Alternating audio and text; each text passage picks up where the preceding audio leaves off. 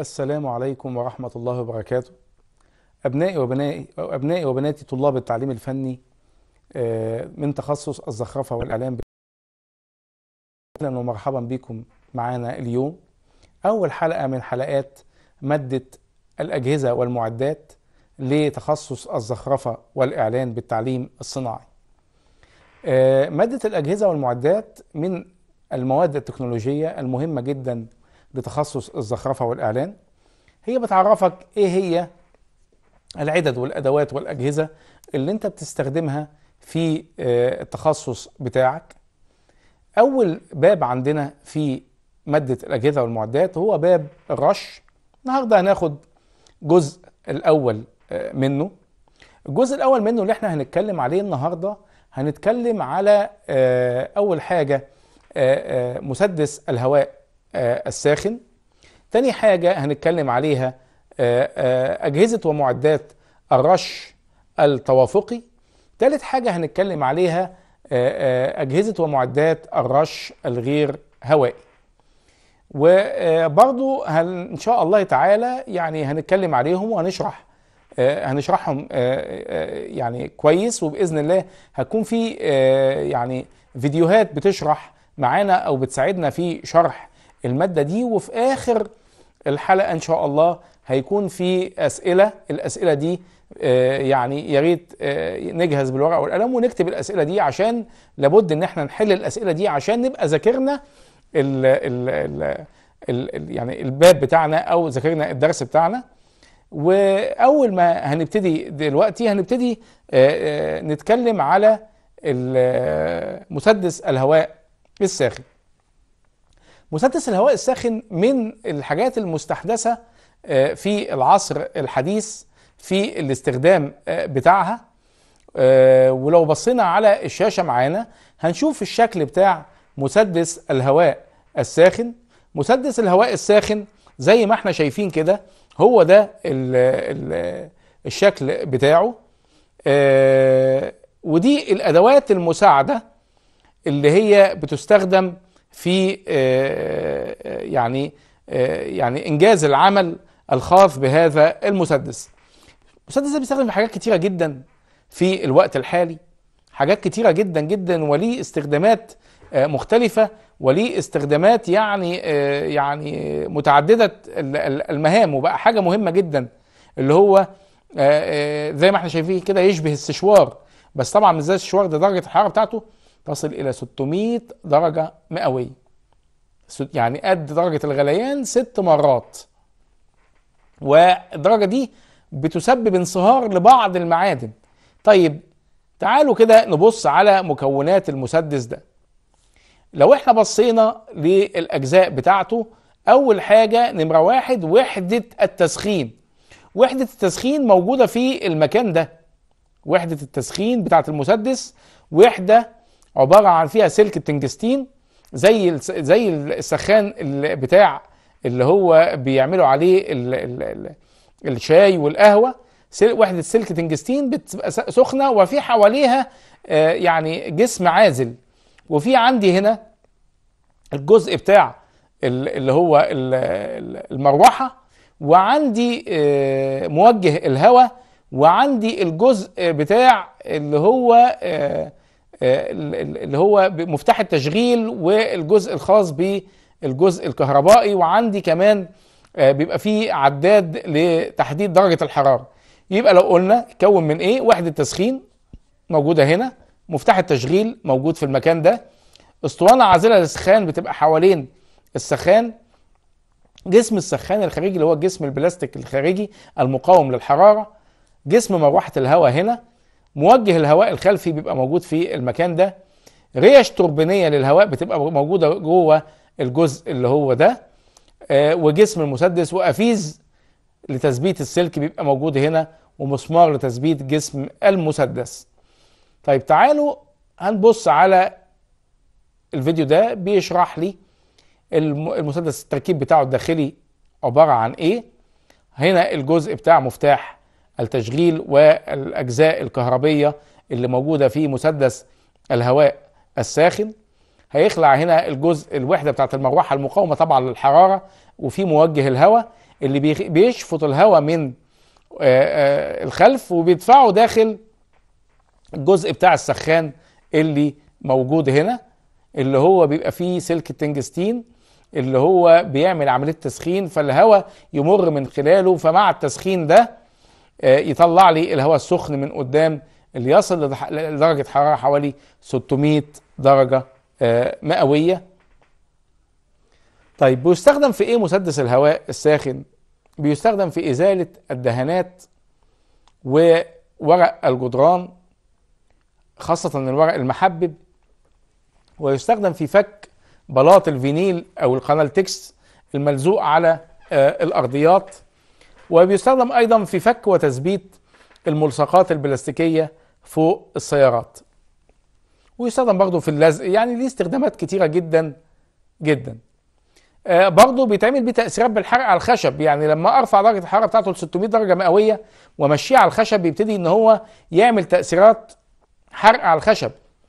وتوسيع وصلات الخراطيم يعني لو في وصلة خرطوم انت عاي- عايز تركبها ويعني ضيقة شوية تسخنها بمسدس الهواء الساخن فالصامولة توسع شوية فتقدر انت تربطها ويستخدم أيضا في تجفيف الدهانات وتسخين بعض الأجزاء قبل عمليات اللزق وأيضا في آه، أحيانا في اللحام بالاسدير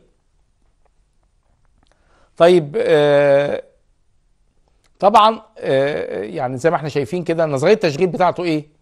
لما بضغط على مفتاح التشغيل بيبتدي آه، يتم تسخين السلك الحراري بوحدة تسخين آه، لما بيوصل لأقصى درجة حرارة السلك ده بيتوهج بدون ما يعمل لهب. الموتور بيدور ويبتدي يشفط الهواء الريش التربونية دي تسحب الهواء الجوي وتدفعه من خلال الوحدة الخاصة بالتسخين. هنشوف يعني آه، طريقة التشغيل بتاعته زي ما إحنا شايفين كده الشكل آه، بتاعه والأدوات المساعدة التي تستخدم فيه. هنلاحظ هنا بيثبت ال- الوش اللي هو عايزه وهيستخدمه هنا في إزالة طبقة اللاكيه من فوق الشباك الخشبي ده. هنا آه، بيحدد درجة الحرارة 600 درجة مئوية اللي هو عايزها ويبتدي إن هو آه، يسخن بيها سطح الدهان ومعاه سكينة المعجون المصاحبة ويبتدي يمشي ببطء كده فيبتدي يزيل طبقة الإيه؟ الدهان آه، من على سطح الشباك الخشبي زي ما إحنا آه، شايفين. طيب نظرية التشغيل بتاعته إن هو قبل ما نبدأ التشغيل لابد نتأكد إن آه، الجهد الكهربي يطابق الجهد الموجود على لوحة بيانات المسدس يعني شغال 110 ولا 220 أتأكد إن بغيزة الكهرباء اللي أنا بوصل عليها محمية بواسطة الفيوزات أو القواطع أو مفاتيح أوتوماتيكية انها إن هي تفصل من تلقاء نفسها لو حصل أي خطأ أو خطر. بحط الفيشة بتاعته في بغيزة الكهرباء بوجه الفوهة على مسافة مناسبة من المشغولة اللي أنا عايز آه، آه، أشتغل عليها. ما اكتمش الهواء الساخن داخل المسدس فيتسبب في إحراق إن هو يحرق الفيوز الداخلي أو يتلف السخان. لا أقرب ولا ابعد وأنا بستعمله من المشغولة. ولما أضغط على مفتاح التشغيل بي- بيندفع الهواء درجة حرارة تصل ل 600 درجة مئوية دي أعلى درجة في أقدر أتحكم فيها وأقلل فيها حسب السطح بتاع المشغولة اللي أنا شغال عليه وحسب قوة احتماله. في تحذيرات مهمة جدا آه، لما أبتدي إن أنا آه، أشتغل بيه. لابد آخد الاحتياط بتاعي آه، إن أنا أبعد عن المواد قبل الاشتعال. ما استخدموش في غرفة فيها رطوبة أو عند سقوط أمطار لأن طبعا هيشفط الكهرباء هيشفط الرطوبه أو بخار أو رذاذ المية وتخش جواه طبعا في وصلات كهربائيه جوه هتعمل ماس. ما استخدموش في الغرف اللي فيها مواد آه، أو سوائل قبل الانصهار أو على مواد بلاستيكية لأنها بتنتج مواد سامة ولأنها برضه قبل الاشتعال وإن يكون العمل في مكان جيد التهوية وإن العامل وهو شغال يراعي الأمن والصحة والسلامة المهنية فيبقى مرتدي قناع للوجه وغالبا كمان يرتدي قفاز يحميه من حرارة المسدس لو آه، يعني عفويا كده جه على يعني إيده يبقى في آه، قفاز بيقاوم الإيه؟ الاحتراق أو الحرارة. لو الموتور اتعطل فجأة وإحنا شغالين أقفل المسدس. ما وجهوش ناحية أشخاص أو أو أبص له من خلال فتحة آه، خروج الهواء. ما سيبوش في متناول الأطفال وأوعى حد يعني يستخدمه كمجفف شعر لأنه هيحرق شعره لأن يعني حتى أقل درجة حرارة فيه عالية للاستخدام ده وخطر جدا جدا جدا. هنشوف في الفيديو ده آه الاستخدامات المختلفة وطريقة الضبط للاستخدام للمسدس. هنا أول حاجة زي ما قلنا بيحط الفيشة بتاعته. يبتدي يظبط درجة الحرارة. ده طبعا ده هنا يعني رقمي فبيظبطها أوتوماتيك. غير التاني كان بيظبط درجة الحرارة ترموستات كده يعني عادي. يبتدي يعمل عملية تسخين للسطح بتاعه قبل ما يعمل عملية الإزالة ويستخدم الأداة المستخدمة في كحت الإيه الدهان من السطح. ودي أداة بتبقى من الأدوات اللي بتتباع مع مسدس الهواء الساخن أو طقم خاص بيتباع ليه. زي ما إحنا شايفين اهو. طبعا بعد ما بيخلص لابد إن هو يشيل آه، اللي هي إيه اللي هي الفيشة من الكهرباء. يستخدم أداة تانية من الأدوات المصاحبة لمسدس الهواء الساخن. كل أداة وليها استخدام معين. الأداة الثالثه بصوا هنا بيسيح أسدير سلك أسدير أهو ومعلي درجة الحرارة ودي بتستخدم في الأسدير. هنا لو تاخدوا بالكم بيعرض لدرجه الحرارة فالبلاستيك بيلم. هنا بيشيل بلاطات الفينيل أو بلاطات الفينيل تكس باستخدام الأداة دي. ماشي؟ في أداة تانية بيوسع بيها الوصلات وبيفك بيها اللحامات. في أداة ثالثه بيستخدم فيها آه يعني بلاستيك كده معين بينصهر وبيملى بيه الفراغات في الأسطح اللي هي فيها خدوش. وفي آه أداة تانية بيستخدمها في اللصق واللحام للجلود الصناعية أو الجلود الطبيعيه طيب آه إحنا كده يعني عرفنا آه، ما هو مسدس الهواء الساخن وما هي استخداماته. هنا هنتكلم على معدات وأجهزة الرش التوافقي. الرش التوافقي زي ما إحنا شايفين كده أدواته هي معدات وأجهزة الرش الهوائي.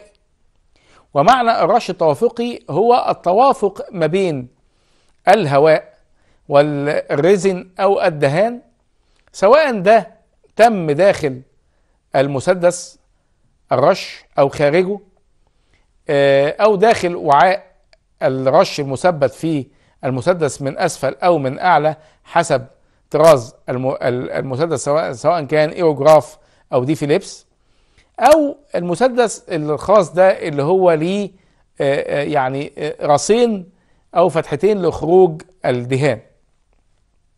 طيب إحنا درسنا في الصف الثاني الأجهزة والمعدات الخاصة بالرش الهوائي والمستخدمة في رش الدهانات على الأسطح المختلفة.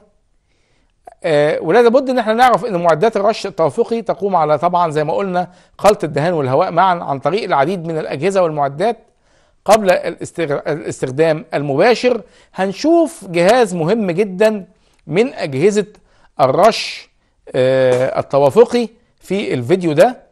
والجهاز زي ما إحنا شايفينه كده عبارة عن آه، جهاز آه، الجهاز ده عبارة عن وعاء. الوعاء ده بيبقى فيه الدهان وفي عندي فوق اتنين جهاز لقياس ضغط الهواء. واحد فيهم زي ما إحنا شايفين كده بيقيس ضغط الهواء داخل الوعاء وواحد فيهم بيقيس ضغط الهواء اللي رايح لمسدس الايه؟ الرش. آه هنا اهو دي اللي هي مقاييس أو المانومتر اللي بيقيس ضغط الهواء. ده بيقيس الضغط اللي رايح للمسدس والتاني بيقيس الضغط اللي آه داخل الوعاء. طيب ليه؟ لأن الهواء اللي جاي جزء منه بينزل على الوعاء يضغط على الدهان عشان الدهان يطلع جوه الماسورة الداخلية ويمشي لغاية ما يوصل للمسدس. وجزء منه بيروح عشان يفتت الإيه؟ الدهان اللي في المسدس. هنشوف إزاي؟ عن طريق فيديو أو عن طريق رسمة يعني بتوضح ده لكن هو هنا بيوضح لك إزاي الدهان يكون تقيل وإزاي الدهان يكون خفيف عن طريق هذا المسدس. وهنشوف فيديو تاني بيوضح ده. هنا بيعمل لنا تجربة بيرش الدهان. فهنا بيديني سطح دهان معتم وثقيل ويقدر إن هو يلعب في صمام معين فيديني سطح دهان أقل إعتاما والرذاذ بتاعه أو الأجزاء بتاعته هتكون بعيدة عن عن بعضيها. وبيقدر إن هو يزود الضغط الدهان الهواء أو يقلل ضغط الهواء اللي رايح للمسدس واللي داخل نازل للوعاء بتاع الدهان ويعمل التوافق المطلوب ما بين الهواء وما بين الدهان اللي رايحين لمسدس الرش عن طريق الخرطومين اللي رايحين خرطوم اللي ماسكين في المسدس خرطوم ماسك بيمشي فيه الدهان وخرطوم بيمشي فيه الايه؟ الهواء. وبيقدر يتحكم زي ما هو عايز عن طريق الصمامات اللي هنشوفها إن شاء الله في الفيديو اللي جاي ونشوف إزاي بيتحكم في مستوى الدهان وثقله أو خفيته وضغط الهواء أو خفية ضغط الهواء. بأمر الله.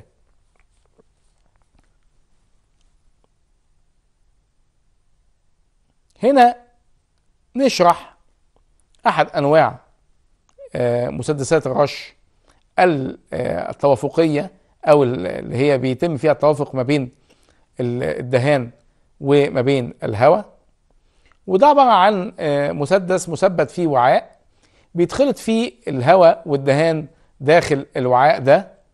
هو مسدس يعني مسدس رش عادي ووعاء مثبت فيه. لو إحنا بصينا ليه هنا هنلاحظ إن الهواء باللون الأزرق والدهان أو الطلاء باللون الأحمر هما جوه الوعاء أهو الدهان أهو الجزء ده فيه دهان والجزء ده فيه آه آه هواء.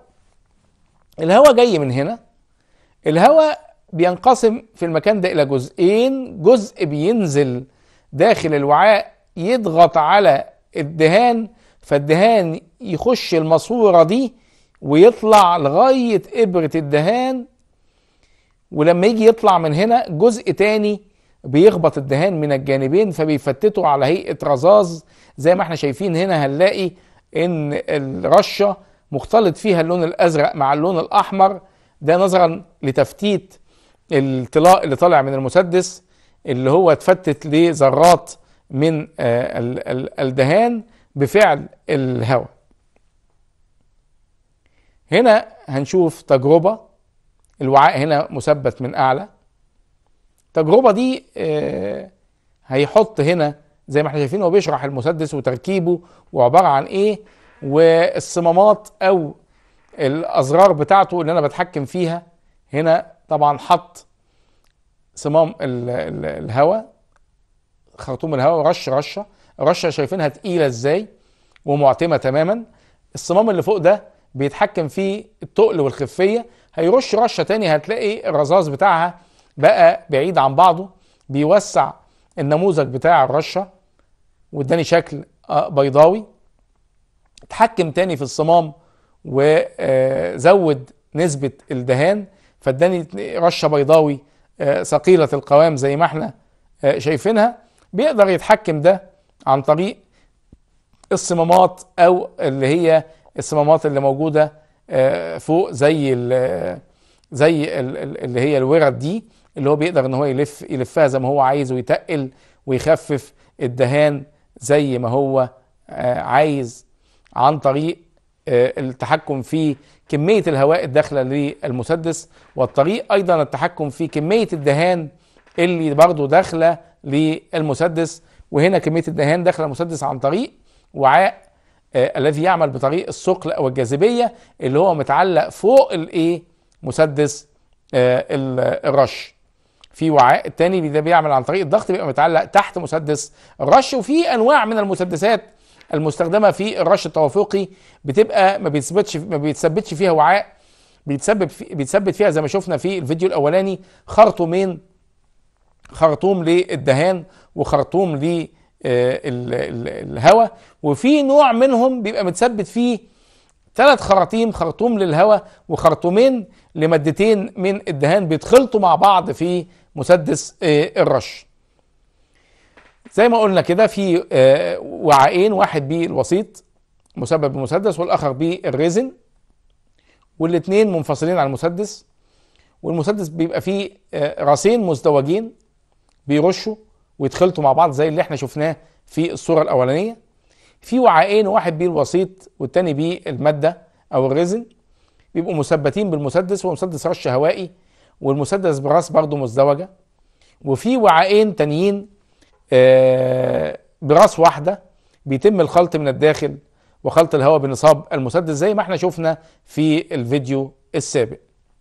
هنشوف هنا في الفيديو ده مسدس الرش زي ما إحنا شايفين كده واصل له خرطومين خرطوم للهواء وخرطوم للدهان وهي طبعا هنا في رش الطيارة. طبعا زي ما إحنا شايفين هو طبعا واخد كل الإجراءات بتاعة الأمن والصحة والسلامة المهنية بتاعته اللي لابد إن هو يتبعها أثناء ال- الرش عن طريق إيه؟ عن طريق الكمامة اللي هو حاططها وعن طريق آه، الغطاء بتاع الراس وعن طريق اللبس اللي هو لابسه وعن طريق ال- ال- القلبز أو القفاز اللي هو لابسه. طب إيه هي مزايا نظام الرش آه، التوافقي؟ من أهم مزايا الرش التوافقي إمكانية تنويع نسب المكونات بتاعت الدهان مع تركيبة الرش المطلوبة إن هو يحط النسب اللي هو إيه عايزها يخلطهم مع بعض جوه المسدس أو يخلطهم مع بعض خارج المسدس آه، الدقة في خلط المكونات بالقدر دون استهلاك زائد أو الفائض. المعدات دي آه، دايرتها مغلقة عشان كده الدهان بتاعها بيبقى نظيف مفهوش خالي من آه، الشوائب. طب عيوبه إيه؟ عيوبه إن ممكن يحصل تغير في قوام مادة الرش عند استخدام المعدات لو ما راعيناش فترة التفاعل. طبعا لأن ده هواء الهواء لما بيخش على الدهان بيزود اللزوجة إيه؟ بتاعته. لو ما راعيناش فترة التفاعل وفترة التفاعل زادت ممكن الدهان يبقى غليظ القوام. طبعا من عيوبه برضو ك- قلة الإمكانيات الخاصة بالنقل والمناولة المعدات بتاعته بتكون أحيانا تقيلة. آه، طبعا معداته غالية ومكلفة في ثمنها آه، نيجي بقى للجزء الثالث اللي هو معدات وأجهزة الرش الغير هوائي. الرش الغير هوائي إحنا شفنا في اللي فات رش هوائي. الرش الهوائي ده بيعتمد على إيه؟ بيعتمد على إن في هواء جاي واصل للمسدس وفي دهان واصل للمسدس الاتنين بيتقابلوا جوه آه، المسدس جزء منهم آه، بيروح عند الفوهة. لما بيطلع الدهان من فوهة المسدس بيبقى طالع محاط بدايرة من الهواء أو محاط من أعلى من أسفل بالهواء اللي بيخلي خط الدهان اللي طالع من إبرة المسدس بتتفتت إلى ذرات صغيرة بشكل اللي إحنا شايفينها. طبعا ده أحيانا بيخلي الدهان ثقيل آه، خفيف القوام شوية. ممكن أحتاج أكتر من رش السطح عشان أغطي ال- السطح بتاعي. آه كمان آه طبعا بيبقى فيه استثمارات عالية لأن محتاج كمبروسر ومحتاج كمبروسر بضغط هواء آه معين. أحيانا بيحصل فيها بعض العيوب. آه طبعا آه عشان الهواء يفتت الدهان بيبقى نسبة المذيبات عالية جدا جدا. أحيانا نسبة المذيبات بتبقى قد الدهان مرة ونص ومرتين وثلاثه عشان أقدر إن أنا أرش من معدات الرش التوافقي ولكن الرش الغير هوائي ده آه مفهوش غالبا ال- ال- المذيبات فيه قليلة. آه السطح بتاع الدهان بيبقى ثقيل القوام آه وحلو جدا. فالرش الغير هوائي آه، أقدر أرش بيه دهانات ثقيلة القوام قوي. يعني أقدر أرش بيه من جازله البلاستيك مباشرة بالقوام التقيل بتاع البلاستيك. الغريب إنه بيرش يقدر يرش بيه معجون. يعني يخف المعجون شوية ويرش بيه معجون ويسحب بسكينة معجون معينة آه، السطح بتاع المعجون. يقدر يخلص أوضة يسحب بيها معجون في أوضة في خمس دقائق أو في عشر دقائق آه، مش منتشر قوي في مصر المعدات الخاصة بالرش الغير هوائي. ولكن أعتقد إن إذا آه، يعني بعض المستوردين أو بعض الناس اللي هم شغالين في مجال الرش الغير هوائي لو اطلعوا على الفيديو ده يعني أعتقد إن هو هي يعني هيبقى أكثر انتشارا لأنه هيخفف كتير قوي على آه، اللي هم آه، عمال أو فنيين الدهانات أو النقاشين في العمل بتاعهم وهيدي عمل أسرع ويحقق إنتاجية أعلى في العمل. طيب نبص على الجهاز الساحر ده أو الجهاز المهم ده الخاص بالرش الغير هوائي. آه، الرش الغير هوائي ما بنستخدمش فيه الهواء المضغوط لكن بنستخدم فيه آه، يعني آه، يعني طلمبه معينة الطلمبه دي بتشفط الدهان وتدفعه في نفس الوقت بدون هواء والطلمبه زي ما إحنا شايفين كده المكونات بتاعتها في عندي اللي هو المسدس بتاعه بتاع الرش الغير هوائي ده مسدس معين تركيبة معينة. وفي عندي اللي هو اللي هو خرطوم واحد رايح للمسدس هو الخرطوم اللي ماشي فيه آه، الدهان. وفي عندي الطلمبة اللي هي بتاعه اللي هي بتشفط الدهان من الجازله بتاعه الدهان على طول أو أو جازله المعجون وترشه في ذات آه، الوقت. طريقة التشغيل بتاعته هنشوف بنحط خرطوم السحب في وعاء الطلاء ما بيتمش تشغيل المضخة قبل ما يكون الخرطوم في مكانه جوه الجازله بوصل كابل كهر... كابل كهرباء بمصدر كهربائي. بفتح مفتاح التشغيل الأول فيبتدي يخش الدهان آه، ويملى اللي هي الأجزاء اللي بترش. ويخش على المصفى الدهان بيخش على المصفى عشان في مصفى في كذا مصفى مصفى موجودة في الطلمبة ومصفى موجودة في إيد المسدس عشان لو في أي شوائب آه، تنقي من الشوائب. وبعدين آه، آه، أفتح مفتاح الاختيار على التشغيل هو تشغيل بالدفع لأن في تشغيل بالتنظيف يعني. وأزود وأخفض الضغط زي ما أنا عاوز وأضغط على زناد المسدس فيطلع الدهان أو طلاء من فوهة المسدس لسطح المشغولة. نشوف الفيديو ده. هو هنا اهو. حط الجازلة وحط فيها الخرطوم بتاع الشفط. شغل الضغط بتاعه. بدأ إن هو يملأ الأجزاء بتاعة المسدس. أدي فوهة الدهان. وادي شوف أسلوب الرش بتاعه أهو. بص يقدر إن هو يرش زاوية الحيطة بطريقة معينة. يقدر إن هو طبعا هو بيرش في مسافة معينة يعني 20 سم ولا حاجة 15 ل 20 سم بعيد عن السطح وهو عمال يرش بيرش بالمسدس نص الرشة الأولى بتغطي نص الرشة آه، الثانية وده أسلوب الرش اللي هو بيستخدمه أثناء الرش لابد طبعا يبقى لابس آه، اللي هي اللي هو الوقاية آه، أو أدوات الوقاية بتاعته. التنفسية عشان ما المذيب بتاع الدهان أو ريحة الدهان ما تأثرش على صدره. طب نيجي نبص بقى على تركيب المسدس ده. مسدس الرش الغير الهوائي. أول حاجة إيده نمرة واحد نصاب المسدس هنا دي الإيد دي. وفتحه دخول الدهان بتبقى موجودة في جوه الإيد. آه وتتصل بمقدمة المسدس يعني متصلة بالمكان ده. وعندي تدفق الدهان. وعندي الفوهة دي مهمه قوي. الفوهة دي بتنقسم إلى جزئين. جزء بيتغير حسب وسع الدهان وكم الدهان اللي أنا عايز آه، أطلعه. والجزء ده اللي هو آه، بيتحكم في آه، الفوهة وبيتحكم في شكل الدهان اللي طالع ومدى كميته إيه. والجزء ده بيتغير على فكرة. تمام؟ وعندي فلتر بيبقى موجود جوه الإيد أو جوه النصاب. فلتر ده اللي هو الدهان بيخش فيه ولو في أي شوائب موجودة آه، داخل الدهان فالشوائب دي الفلتر ده بيمتصها. المسدس ده مؤمن ضد مخاطر الاستعمال الخاطئ بثلاث طرق. مأمنينه إزاي؟ عندي مفتاح أمان لغلق الزناد بيكون موجود في الإيد أو النصاب أو بجوار الفوهة طبقا لتصميم المسدس. عندي آه، واقي أمان بيضمن بعد مناسب عن منطقة الضغط المركز العالي.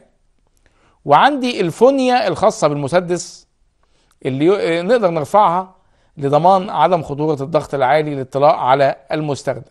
يعني في مزود باكثر من حاجة للأمان. طريقة استخدام المسدس طبعا زي ما إحنا شفنا في الفيديو السابق بنمسك المسدس بقوة بتكون الفوهة اللي إحنا شايفينها دي عمودية على السطح ببعد من 12 ل 14 سنتي ما بيتمش الضغط على الزناد إلا بعد ما ابتدي احرك المسدس. لو حصل سدد في الفوهة أثناء الرش بعكس الفوهة فالشوائب اللي موجودة اللي سدت الفوهة بتخرج وبعد كده أعكسها مرة تانية في الاتجاه الصحيح وأكمل الشغل بتاعي. هشوف فيديو بيتكلم على الفوهة والفونيا. دي مهمة جدا الفونيا دي اللي أقدر إن أنا آه، ليها رقم معين. ورقم ده هنا فيه ثقب معين في المكان ده. الثقب ده بقدر لما أحط الفونيا دي في الفوهة بتاعت المسدس يوسع قطر الدهان بتاعي حسب ما أنا عايز. وفي بعد كده الفلاتر اللي موجودة في إيد المسدس الفلتر ده بصوا آه، اللي هو يطلع نقاط يا إما نقاط ناعمة أو نقاط خشنة أو نقاط كبيرة حسب سمك الفتحات اللي موجودة في الفلتر وفقا لنوع الدهان اللي أنا برشه. طيب إزاي بيتم تنظيف وصيانة المضخة والمسدس؟ أول حاجة بفتح مفتاح أمان الزناد. وبقفل مفتاح التشغيل بتاع الوحدة. بعد كده آه بعمل وضع المفتاح التشغيل على تحرير بختار تحرير الضغط آه إن هو يركز على الخرطوم والطرد مش الشفط. بفك فوهة المسدس وبحطها في مذيب وفقا لنوع الدهان. لو كان النوع الدهان بيدوب بالمية بحطه في المية لو كان بأحد الأنواع الأخرى سواء كان تنر آه، جاز نفط أي حاجة بحطه فيه لفترة محدودة.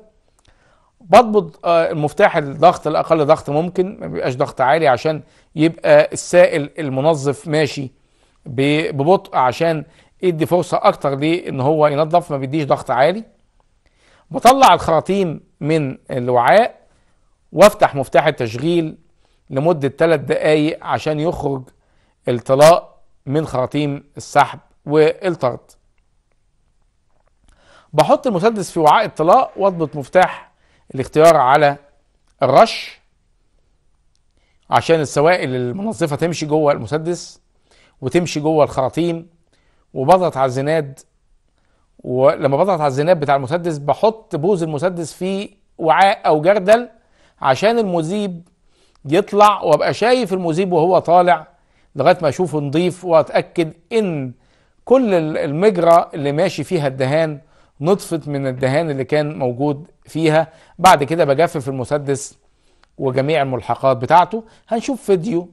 فيديو بيوضح طريقة التنظيف آه، بتاعتي بتكون إزاي. بضبط على آه، وضع وضع اللي هو المضخة على التنظيف.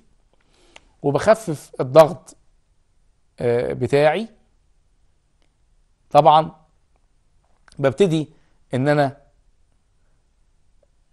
يعني آه، أظبط وضع المسدس بتاعي على وضع التنظيف ويبتدي السائل بتاع التنظيف بتاعي يمشي ويملى المسارات اللي كان ماشي فيها آه، الدهان بتاعي.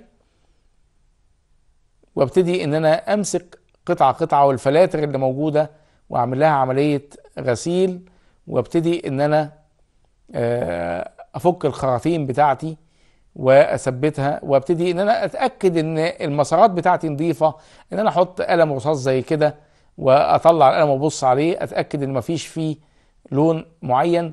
كل دي الأساليب المتبعه في التنظيف وأبتدي إن أنا أرش لغاية ما الفوهة بتاعتي آه، تنضف تماما ويبقى الرش بتاعي اللي طالع مفهوش لون. أتأكد كويس من إن مسارات المذيب ماشية كويس داخل فوهة ال- الدهان وإن الدهان بقى آه، نظيف. طيب مميزات الرش غير الهوائي ده ليه مم- ليه مميزات. بيوفر كمية الدهان عدم استخدام كمية كبيرة من المخففات. بستخدم الكمية اللازمة دون زيادة أو نقصان. المضخة قوية بدرجة تكفي لاستخدام وتشغيل كذا مسدس في وقت واحد. سرعة الأداء عالية بتزيد مرتين على الأقل عن الرش التوافقي أو الهوائي. بيحافظ على نظافة المكان آه، لأن عملية الدهان بتنحصر في آه، المكان والسطح بتاع آه، الدهان اللي أنا برشه آه، يمكن رش طبق- طبقات رقيقة من الدهان. سهولة الاستخدام لمعداته. مش بتتطلب خبرات خاصة. الفيديو اللي جاي ده فيديو مهم قوي لاستخدام أو أسلوب استخدام آه، مسدس الرش الغير هوائي. وإزاي؟ زي ما إحنا شايفين كده مسافة الرش قد إيه؟ وبيرش نص الرشة الأولى بيغطي نص الرشة التانية لغاية ما يوصل للسطح كله. وسرعة طبعا في الأداء. هنلاحظ حاجة تاني إن هو آه، يعني ليه أدوات للتطويل أو ليه وصلات للتطويل بتساعد في رش الأماكن العالية آه، يعني بسهولة أكثر من الأجزاء الأخرى. وعلى فكرة الإيد بتاع التطو- التطويل دي في ايدين تطويل اعلى واطول من الايد اللي إحنا شايفين الفني بيستخدمها. أحيانا لو بيدهن جوه اوضه ممكن هو واقف على الأرض يدهن السقف بتاع الاوضه. زي ما إحنا شايفين كده سهوله وبتغطي ال- ال- ال- المكان كله ويقدر ان هو يخلص المكان مع مدى شوف مع صعوبة المكان يقدر يخلصه في وقت إيه؟ وجيز. هنشوف هنا استخدام جهاز الرش غير الهوائي في رش آه، آه، يعني آه، آه، هنجر بتاع مصنع من الخارج. شوف سرعة الرش بتاعه وبإنه بعد ما بيرش مفيش فراغات خالص ما بتلاقيش أي فراغ موجود بعد ال- الرش. هنا بص يعني السطح ده بتاع ال- ال- المكان دي أو الورشة أو الكوخ ده بص سرعة الرش قد إيه؟ طبعا هتلاحظ فرق كبير جدا ما بين استخدام فرشه أو رولة أو استخدام هذا الجهاز. يعني يحقق إنتاجية كبيرة جدا جدا للعمالة أو الفنيين وتريحهم بنسبة كبيرة في العمل. وتخفض يعني الوقت بتاع ال- ال- العمل بتاعهم ويقدروا يعملوا إنتاجية أعلى. لاحظ هنا هو بيدهن سقف. طبعا بسرعة جدا ومساحة طبعا كبيرة جدا. في مساحة المساحة اللي هو رشها قدامنا دي مثلا حوالي متر ونص في متر ونص بيرشها في في أقل من دقيقة. هنا بيرش الأرميد فوق سطح أحد ال- الفلل أو أحد البيوت. وسرعة الرش بتاعته بص عاملة إزاي؟ يعني آه، هنلاحظ كمان آه، اللي هي الأسطح اللي هي الخشنة زي دي. شوف عشان ادهنها بفرشة بتاخد مني مجهود قد إيه وبتاخد وقت طويل جدا وفي نفس الوقت أفضل أعيد وأزيد تاني عشان أوصل للأماكن الغائرة. لكن هنا بص لما استخدمت إيه اللي جرى؟ ملت المسام كلها في يعني جزء سريع جدا وبأقل مجهود ممكن. فجهاز الرش الهوائي من الأجهزة المهمة جدا آه، في الاستخدام آه، في عمليات الرش وعمليات الدهان. واللي أتمنى إن أنا آه، أشوفه منتشر في مصر لأنه فعلا بيساعد قوي في الوقت والمجهود ويخلينا نقدر نسلم بعض الأماكن وفقا طبعا للنشاط اللي حاصل في مصر في الوقت الحالي في النشاط الخاص بالبناء والتعمير و سواء كان بناء إسكان اقتصادي أو إسكان للشباب أو إسكان منخفض التكاليف أو الإسكان السياحي اللي منتشر في شتى ربوع مصر. الجهاز ده هيساعد قوي في سرعة الأداء وفي جودة الإيه؟ التسليم يعني. آه، هنشوف برضو حاجة تانية من المعدات المستخدمة في الرش آه، الهوائي اللي هي بقى الرولة. في آه، الرولة اللي بتستخدم مع مضخة الرش الغير هوائي دي رولة مهمة جدا وهم نوعين من الرولز اللي هو في رولة بيبقى فيها ذات الايه الملء الداخلي بيبقى الدهان من جوه ماشي جوه الرولة وماشي جوه الماسورة بتاعت الرولة وبيطلع لسطح الرولة من قلب الماسورة والنوع الثاني بتاع الرش رولة الرش الخارجي بتبقى عبارة عن إيه؟ بيبقى عبارة عن فوهة بترش السطح وفوق الفوهة رولة الرولة دي آه، اللي أنت رشيته هي بت إيه؟ بتمشي عليه عشان آه، يعني تخلي فيه انسيابية في إيه؟ الرش. ده في بعض أنواع الرش التقيل. هنشوف معانا على السطح آه، على الشاشة اسطوانات التوزيع الخاصة بالدهان ذات التغذية الداخلية. تستخدم في أحجام الأعمال الكبيرة. بتوفر كمية دهان بنسبة 30% آه، بتوزع الدهان على كل جزء من أجزاء الأسطوانة عن طريق التغذية الداخلية يعني. هنا بيبقى الدهان ماشي جوه الأسطوانة جوه الماسورة هنا وماشي وداخل جوه في ماسورة مخرمة راكب حواليها الرولة والماسورة دي الماسورة دي بيطلع منها الدهان والدهان بيبل الرولة اللي بيطلع منها الدهان على السطح وأقدر إن أنا أستخدم ازراع آه، أو أزرع طويلة آه، ادهن بيها السقف وأنا واقف تحت على الأرض. للدهان عشان أدهن الأسقف أو الحوائط العالية. هنشوف فيديو هنا. الفيديو ده بيقول لي التركيب بتاع الرولة دي عبارة عن إيه. ركب أهو الرولة. ماشي. وبعد ما ركب الرولة آه بيشرح لي بقى الأجزاء بتاعتها.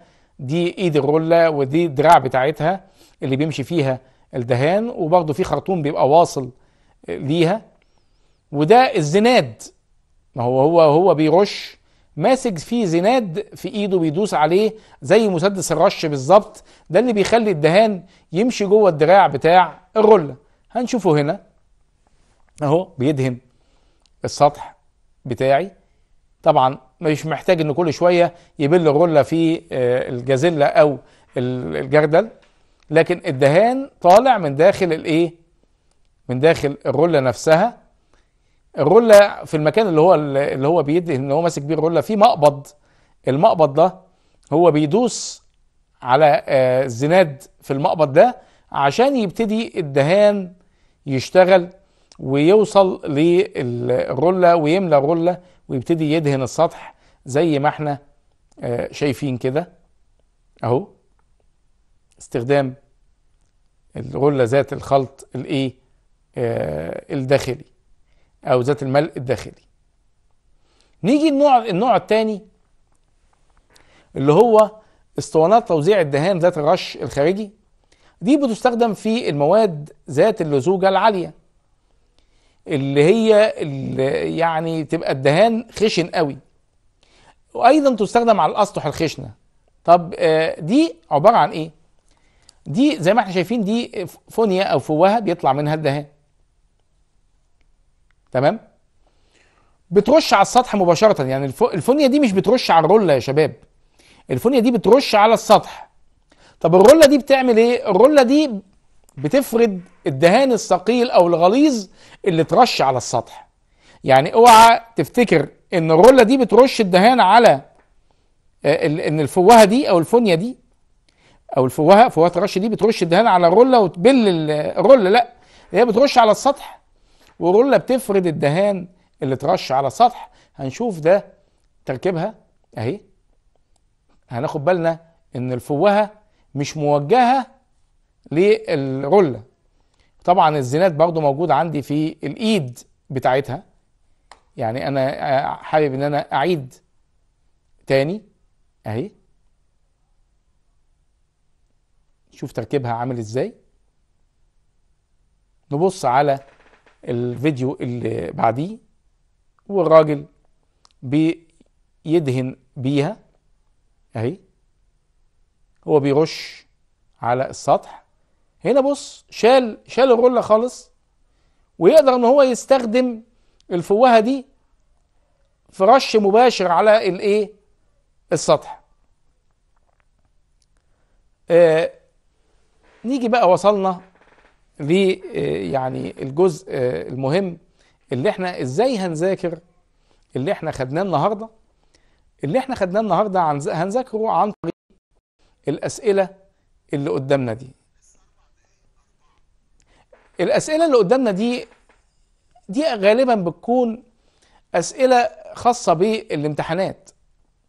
أسئلة خاصة بالامتحانات لابد إن أنت يعني تحلها وتذاكرها كويس وتحفظ الرسومات بتاعتها كويس عشان ده هيساعدك بإذن الله تعالى في إنك تبقى دايما أول بأول بتذاكر الدرس بتاعك. طيب إيه هي آه الأسئلة دي؟ أول سؤال ما هي مكونات مسدس الهواء الساخن؟ كون من إيه؟ وارسم قطاع ليه. السؤال الثاني بيقول لك اذكر اهم استخدامات مسدس الهواء الساخن بيستخدم في إيه مسدس الهواء الساخن؟ وما هي نظرية تشغيله؟ بيشتغل إزاي؟ عرف اهم مميزات وعيوب معدات الرش التوافقي. ده سؤال مهم جدا. نيجي لي الرش الغير هوائي. عرف ماهية الرش الغير هوائي. ومما يتكون مسدس الرش الغير هوائي؟ وكيف يتم تأمين مسدس الرش الغير هوائي من مخاطر الاستعمال مع رسم قطاع له؟ قارن بين أسطوانة الدهان ذات التغذية الداخلية وأسطوانة الدهان ذات الرش الخارجي. دي الأسئلة اللي أنا عايزكم. طبعا طبعا أنت قاعد قصادي ومعاك ورقة وقلم تكتب الأسئلة دي وتحلها كويس قوي يبقى أنت كده ذاكرت الدرس بتاعك. عايز أقول لكم إن إحنا تقريبا كده يعني خدنا النهارده تلت الباب بتاع معدات الرش. وبإذن الله في الحلقات اللي جاية هنستكمل الباب بتاع معدات الرش هو أكبر باب في المنهج. خدنا إيه النهارده؟ نراجع مع بعض كده. خدنا آه معدات الخاصة بمسدس الهواء الساخن. وكيف عفوا كيف يتم استخدام مسدس الهواء الساخن. ونظرية التشغيل الخاصة به وإزاي يستخدمه بدون مخاطر. خدنا أيضا العدد والأدوات الخاصة بأجهزة الرش التوافقي وما هي أجهزة الرش التوافقي وبتتكون من إيه ونظرية التشغيل بتاعتها إيه وإيه هي عيوب ومميزات أجهزة الرش التوافقي. خدنا أيضا النهارده العدد والأدوات والأجهزة بالرش الرش الغير هوائي وما هي المعدات الخاصة بالرش الغير هوائي؟ آه خدنا مضخة الرش الغير هوائي ومسدس الرش الغير هوائي ومكوناته وخدنا اللي هي الوصلات بتاعته وازاي بتوصل الاجهزه بتاعته وكيف يتم التنظيف وخدنا أيضا الرول الرولة الخاصة بالرش الغير هوائي اللي هي الرولة الخاصة بالضغط الملء الداخلي والرولة الخاصة بالرش الخارجي. إلى هنا الحلقة بتاعتنا انتهت النهاردة وإن شاء الله إلى لقاء آخر في القريب بإذن الله تعالى. والسلام عليكم ورحمة الله وبركاته.